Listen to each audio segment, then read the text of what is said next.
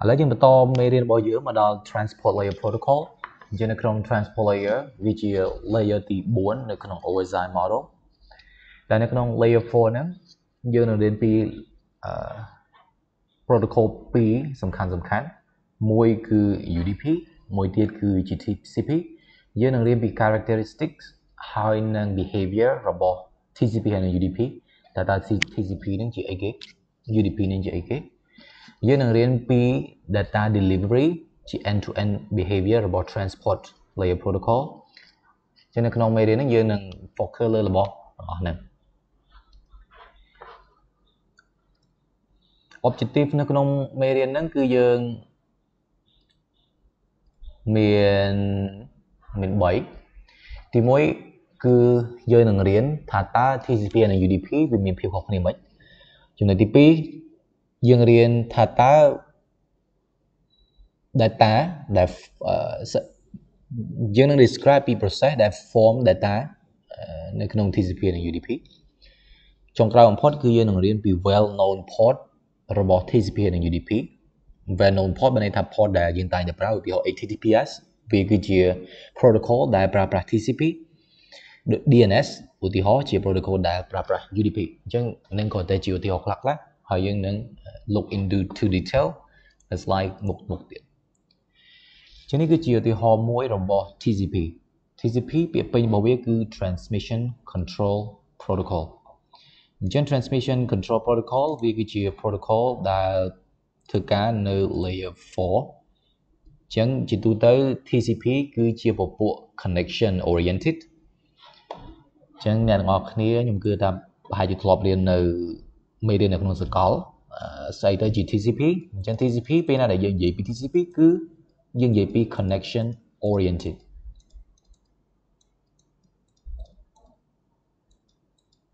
connection oriented បានន័យថាម៉េច connection oriented បានន័យថាវា connect ហើយវាមាន session ដើម្បី store ទុក connection អញ្ចឹងនៅក្នុងករណីហ្នឹងវាត្រូវធ្វើ process មួយឈ្មោះថា TCP three way handshake យើងអត់ទាន់ទៅ detail process ហ្នឹងទេព្រោះវានឹងមាននៅក្នុង slide ខាងមុខទៀតអញ្ចឹង TCP វាគឺជា protocol ដែលនៅក្នុង layer 4នៅក្នុង IP protocol stack ដែលវា support connection establishment ជាដើមនៅក្នុង layer 4ជាងទូទៅពេលណាដែល data ឲ្យតែពេលឧទាហរណ៍ថា HTTP វាគឺជា web page ឬក៏ HTTPS វាគឺជាពពួក protocol ដែលប្រើប្រាស់ layer 4 គឺ TCP ដើម្បី send data ចេញចូលពេលណាអ្នកនរអ្នកនរគ្នា serve YouTube មើលចម្រៀងមើលអីហ្នឹងគឺអ្នកទាំងអស់គ្នាកំពុងតែប្រើប្រាស់ TCP អឺប្រើប្រាស់សំទោសខ្ញុំយក video stream អត់ត្រូវទេពេលណាអ្នកនរគ្នាបើក web page ឧទាហរណ៍ទៅចូល google.com ជាអ្នកទាំងអស់គ្នាកំពុងតែប្រើប្រាស់ TCP ដើម្បីព្យាយាមទាញ web interface ពី google.com មក អញ្ចឹងយើងប្រើប្រាស់ TCPS ដែល base លើ TCP នៅក្នុង layer 4ជាពេលណាដែលយើងចង់ធ្វើ TCP យើងត្រូវធ្វើ request ហើយក៏មាន TCP reply មកវិញដែរពេលណាដែលយើងនិយាយពី transmission control protocol យើងត្រូវនិយាយពី well known port របស់វាអញ្ចឹងនៅក្នុងកន្លែងហ្នឹងគេផ្ដល់ជាឧទាហរណ៍យើងថាមាន protocol មួយចំនួនដែលយើងប្រើប្រាស់នៅក្នុង TCP ដែលយើងតែងតែស្គាល់ឧទាហរណ៍ FTP file transfer protocol គឺយើងប្រើប្រាស់ port លេខ20ហើយនិង port លេខ21នៅក្នុង TCP យើងមាន protocol well known មួយទៀតគឺ HTTP ឬក៏ Hypertext Transfer Protocol ដែលប្រើប្រាស់ protocol លេខ80យើងមានមួយទៀត Telnet គឺជា remote session protocol ប្រើប្រាស់ port 23ក៏ base លើ TCP ដែរ យើងមាន SMTP ឬក៏ simple mail transfer protocol ដែលអ្នកនរគ្នាធ្វើដើម្បីអឺប្រើប្រាស់ mail ចឹងយើងមាន port លេខ25ដែលប្រើប្រាស់ TCP port ដែរអញ្ចឹងនៅ port ទាំងអស់ហ្នឹងជាទូទៅវាគឺជា well known well known port ដែលវា correspond ជាមួយនឹង port number នៅក្នុង layer 4ដែល base លើ TCP នៅក្នុងកន្លែងនេះឧទាហរណ៍ថាពេលណាដែលយើងចង់ connect destination destination port port 80យើងត្រូវតែ មាន source port ចឹង first port កន្លែងនេះគឺជាទូទៅ auto generate ជាទូទៅពេលណាដែលកុំព្យូទ័រអ្នកនរគ្នាបើក web page មួយកុំព្យូទ័រអ្នកទាំងអស់គ្នានឹង auto generate source port ហើយ bind វាជាមួយនឹង IP address អញ្ចឹងឥឡូវយើងអត់តន់ថកលើកន្លែងទេគ្រាន់ពេលនេះអ្នកនរគ្នាអាចដឹងថា host A ហ្នឹងពេលណាដែលវាចង់ connect ទៅ HTTP server ដែលប្រើប្រាស់ port 80គឺវាត្រូវដាក់ destination របស់វាគឺ 80 port destination port វាគឺគឺ80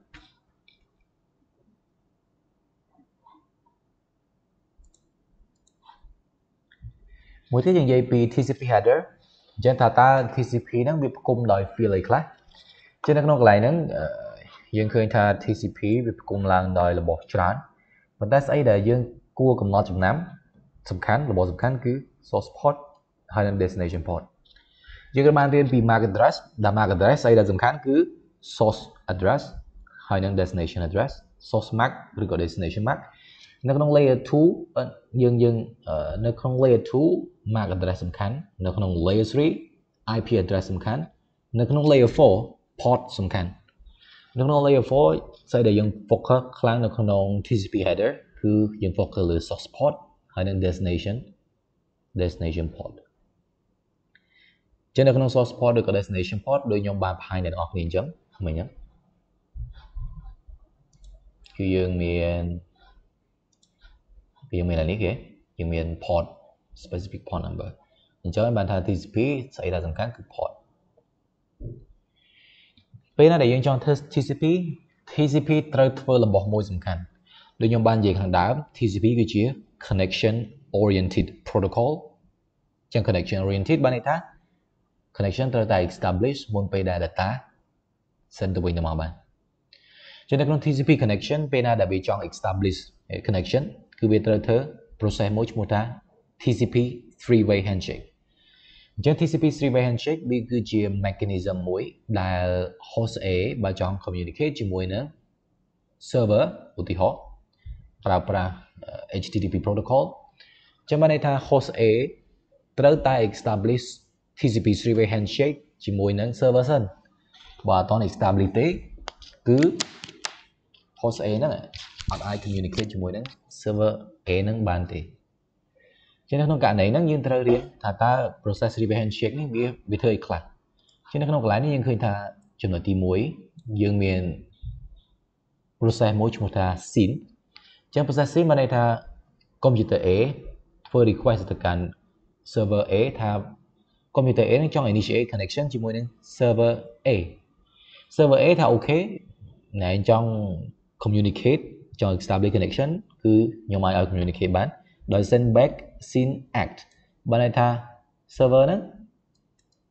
អនុញ្ញាតហើយអញ្ចឹង host A ចុងបញ្ចប់វា send act ទៅវិញ act ហ្នឹងគឺ acknowledgement acknowledgement បើយើងបកប្រែខ្មែរឲ្យស្រួលយល់បើន័យថាទទួលបើន័យថាអឺ យល់ព្រមអញ្ចឹងទៅអាហ្នឹងគឺជា acknowledge ពេលណាដែលយើង acknowledge អីមួយគឺយើងនឹងយល់ព្រមអីមួយចឹងនៅក្នុងករណីកន្លែងនេះ host A ធ្វើការយល់ព្រមយើង connection ហ្នឹង establish អញ្ចឹង host A ហើយនិង server A អាចឆ្លងឆ្លើយ communication បាន based លើ TCP connection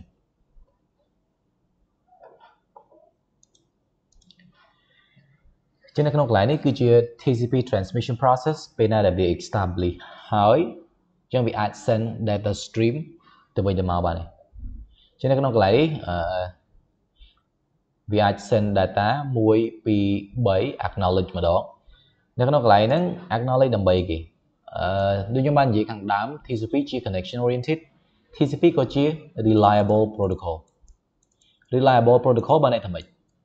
បើយើង send 100 packet ទៅកាន់ destination 100 packet ហ្នឹងត្រូវដាច់ខាតត្រូវតែទទួលដោយ destination យើងអាច send 100 packet ទៅដល់បានតែ99អត់អាច acceptable ទេនៅក្នុង TCP TCP ពេលណាដែលយើង send 100ដាច់ខាតត្រូវតែទទួល100ព្រោះ application ដូចជា web page ពេលណាដែលអ្នកទាំងអស់គ្នាឧទាហរណ៍ថាអ្នកទាំងអស់គ្នាបើក web page អឺព័ត៌មាន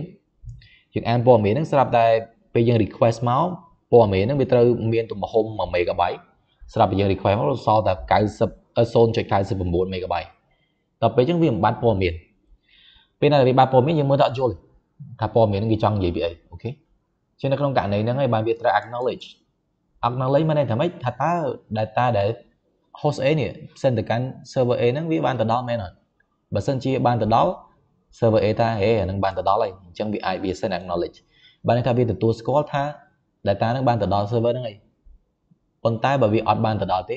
វានឹងធ្វើការ retransmit បានន័យថាវាបើសិនជាមាន packet drop អីគឺវានឹងធ្វើការ retransmit ធ្វើម៉េចដើម្បីឲ្យ packet send ទៅ100បាន100 send ទៅ1000បាន1000ព្រោះ TCP គឺជា reliable protocol ជានៅក្នុងកន្លែងនេះពេលណាដែលយើងរៀនពី TCP ក៏យើងត្រូវយល់ពី TCP flow control ជាង TCP flow control បានន័យថាម៉េចបានន័យថាពេលណាដែល send ម្ដង ឬក៏2ដងឬក៏3ដងតើតើត្រូវ acknowledge ប្រហែលនៅក្នុងកន្លែងនេះពេលណាដែលយើង send ឧទាហរណ៍ packet មានទំហំប៉ុណ្ណឹងមានទំហំប៉ុណ្ណឹងជាទូទៅពេលណាដែល send បានជោគជ័យ window អឺសំទោស acknowledge នេះនឹង increase ជានេះគ្រាន់តែគេចង់បង្ហាញថាពេលណាដែល TCP establish uh, TCP protocol ត្រូវបាន establish ហើយថាតើមាន communication អីខ្លះ between host A ហើយនិង server server A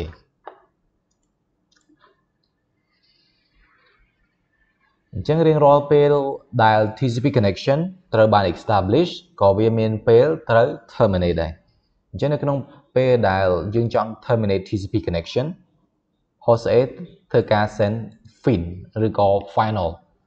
ចឹងពេលណាដែល host A ធ្វើការ send fin នៅក្នុង TCP connection គឺ host គឺ server A ហ្នឹង send acknowledge send fin TCP ត្រូវបាន close ពេលណាដែល TCP ត្រូវបាន close communication ឬក៏ data stream អត់អាច send ទៅវិញមកបានទៀតទេអូខេជាកន្លែងហ្នឹងគឺគាត់ចង់បញ្ជាក់ថាបើសិនជាយើងចង់ close ឬក៏ចង់ terminate TCP connection host A វានឹង send acknowledgement ដែលវា receive ពី server មុនពេលដែលវា close TCP connection ពេលណាដែលយើងនិយាយពី TCP រួចរាល់ហើយឥឡូវយើងបានយល់ពី concept របស់ TCP យើងនឹងថា TCP ជា connection oriented យើងនឹងថា TCP គឺជា reliable protocol ដែលត្រូវការ retransmit នៅពេលដែលមាន packet drop TCP ជា reliable protocol អាចដោយសារតែវាជាគេវាធ្វើ three way handshake ដើម្បីធ្វើម៉េច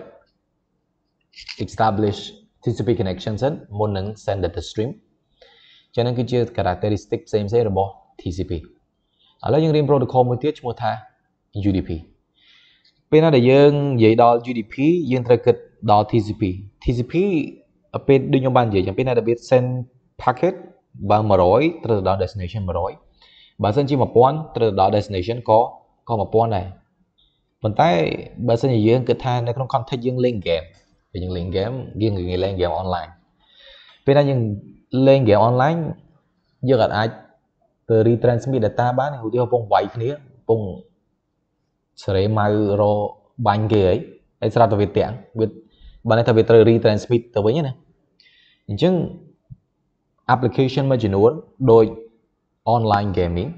ដូច video streaming ដូច voice call គឺយើងអាច accept អា retransmit នឹងបានទេបានន័យថាម៉េចបានន័យថា protocol ណាដែលត្រូវការ real time ដូច voice call video streaming video call ឬក៏ video game គឺយើងអាចប្រើប្រាស់ TCP បានទេប្រើប្រាស់ TCP មិនកើតព្រោះអីឧទាហរណ៍ថាពេលយើងពងនិយាយទូរស័ព្ទអញ្ចឹងយើងនិយាយថាខ្ញុំចង់ទៅផ្ទះនិយាយអញ្ចឹងណាបើសិនជា TCP ពេលណាដែលមាន packet drop នៅចន្លោះហ្នឹង គឺវានឹងព្យាយាម retransmit packet ទាំងអស់មកវិញអញ្ចឹងបានន័យថាវា cost latency ពេលណាដែលវា cost latency បានន័យថាខ្ញុំនិយាយទៅអ្នកដែលខ្ញុំចង់និយាយទៅណាខ្ញុំនិយាយ2 3 second ហើយបើម្នាក់ទៀតទទួលបានអញ្ចឹងវាអត់អាច acceptable ទេនៅក្នុង real time application ដំណោះ TCP អត់អាចទៅដោះស្រាយបញ្ហា real time នឹងបានទេបើន័យថា online gaming video streaming voice call អានឹងមិនជាស្អីដែល TCP អាចដោះស្រាយបាន ដោយសារហេតុផលហ្នឹងបានគេប្រើប្រាស់ UDP datagram UDP គឺជា user datagram protocol វាមិនមែនជា connection oriented ទេបានន័យថាវាអត់ចាំបាច់ establish TCP three way handshake អីទេមុនពេលដែលវា transmit data គឺវា transmit យកមក TCP វាត្រូវការ three way handshake តែ three-way handshake អត់ form គឺអាច establish TCP បានទេប៉ុន្តែ UDP អត់ទេ UDP អត់មានត្រូវការ establish ទាំងអស់គឺវាអាច send ទៅតែម្ដងចឹងយើងដឹងហើយថាដូច voice ពេលណាដែលយើងនិយាយស្ដាប់គ្នាបានយ៉ាងច្រើនយើងនិយាយម្ដងទៀតត្រូវទេចឹងនៅក្នុងករណីនេះគឺយើង contact របស់យើងគឺប្រើប្រាស់ UDP អញ្ចឹងយើងគ្រាន់យើងឃើញ packet យើងដឹងហើយថា UDP មានទំហំទូជាង TCP ជាមួយនៅក្នុង TCP មានមួយកណោអូខេមាន sequence number acknowledgement checksum អីផ្សេងផ្សេងព្រោះពួកអស់នេះគឺសុទ្ធតែជា mechanism ដើម្បីធានា reliability ធានាថា data ត្រូវតែទៅដល់គោលដៅបើសិន1000ទៅ1000សិន10000ទៅ10000អត់អាចខ្វះបានទេនៅក្នុង UDP វាអត់ខ្វល់ហ្នឹងទេស្អីដែលវាខ្វល់គឺ source port destination port ទំហំរបស់ data ហើយវា check data corruption ដោយប្រើប្រាស់ feature check check sum ជានៅក្នុងកន្លែងហ្នឹង UDP achieve minimal overhead ជានៅក្នុងហ្នឹងអ្នកនរគ្នាពេលណាដែលរៀន network ឃើញពី overhead គឺបានន័យថាជា data ដែលជា additional data ដែលធ្វើឲ្យ protocol នឹងយឺតអីចឹងទៅ ជានៅក្នុងនេះគេថា UDP មាន overhead តូចអញ្ចឹងបានទំហំរបស់ UDP segment ហ្នឹងឬក៏ packet ហ្នឹងពេលណាដែលវា send ចេញចូលគឺវាទូជាង TCP ពេលណាដែលវាទូជាងបានន័យថាវា send លឿនជាងអូខេយ៉ាងនេះគឺជា advantage របស់ TCP អត់ UDP ដោយសារតែវាមានទំហំតូចជាង TCP ជាង datagram deliver is not guarantee with UDP កន្លែងហ្នឹងហើយដែលគេថាវាអត់ guarantee ទេ send 100 packet សល់តែ99ក៏វា acceptable ដែរអញ្ចឹងឧទាហរណ៍ដូច voice call ដូច video streaming អីបើសិនជាបាត់ packet បន្តិចបន្តួចវាគ្រាន់តែថាវីដេអូវាមិនសូវច្បាស់ឬក៏សំឡេងយើងមិនសូវច្បាស់តែប៉ុណ្្នឹងទេអញ្ចឹងយើងនៅតែអាច acceptable ឲ្យតែយើងអាចស្ដាប់គ្នាបានគឺ acceptable ទេទោះបី data packet ហ្នឹងអត់គ្រប់ក៏ដោយគឺយើងអាចស្ដាប់គ្នាបានដែរយ៉ាងច្រើនអត់ច្បាស់តែប៉ុណ្្នឹងអូខេអញ្ចឹងហ្នឹងគឺជា UDP ដូចខ្ញុំកំពុងតែបរៀនអ្នកទាំងអស់គ្នាអញ្ចឹងឥឡូវកំពុងប្រើប្រាស់ UDP ឯងអត់ប្រើប្រាស់ TCP ឯង connection នៅក្នុងការ live ដែលខ្ញុំបរៀនអ្នកទាំងអស់គ្នាដោយសារសំឡេងខ្ញុំចេញទៅបើសិនជាមាន packet loss between ខ្ញុំហើយនឹង Zoom server យ៉ាងច្រើនណាវាសំឡេងខ្ញុំអត់សូវច្បាស់អញ្ចឹងទៅឬក៏បាត់ខ្លាំងសំឡេងខ្ញុំបាត់មួយសន្ទុះអញ្ចឹងទៅខ្ញុំអាចនិយាយឡើងវិញបានអាហ្នឹងគឺជា application របស់ UDP កន្លែងនេះគេគ្រាន់គេចង់បង្ហាញពី disadvantage របស់ UDP ក៏ទោះបីជាវាលឿនវា support sensitive time sensitive application ក៏វាងាយរងគ្រោះវា susceptible to possibility of datagram duplication or non-orderly delivery of datagram ចាំន័យថា UDP ងាយរងគ្រោះទៅលើនៅក្នុងពេលដែលយើងមាន datagram ច្រើនហើយវា send duplicate data ហើយពេលណាដែលវាទៅដល់ destination វាអត់ទៅតាមលំដាប់លំដាប់លំដោយព្រោះនៅក្នុង UDP អត់មាន mechanism អីដែលអាច reorder data ពេលណាដែលវាទៅដល់ destination ទេនៅក្នុង TCP គឺវាមាន mechanism ដែលអាច reorder data ពេលណាដែលវាទៅដល់ destination destination ចឹងនៅក្នុងកន្លែងនេះគឺជាឧទាហរណ៍ពេលណាដែលយើងប្រើប្រាស់ UDP យើងត្រូវដឹង forwarding behavior របស់វាអញ្ចឹង forwarding behavior របស់ UDP គឺវា no acknowledgement អញ្ចឹងអត់មានចាំបាច់ acknowledgement អីទេតែវាចង់ send send ឯងអត់ចាំបាច់ establish three way handshake អត់ចាំបាច់ acknowledgement ដូច TCP ឯងអញ្ចឹងយើងឃើញថាកន្លែងនេះគេដាក់ voice video គឺប្រើ UDP អត់ប្រើ TCP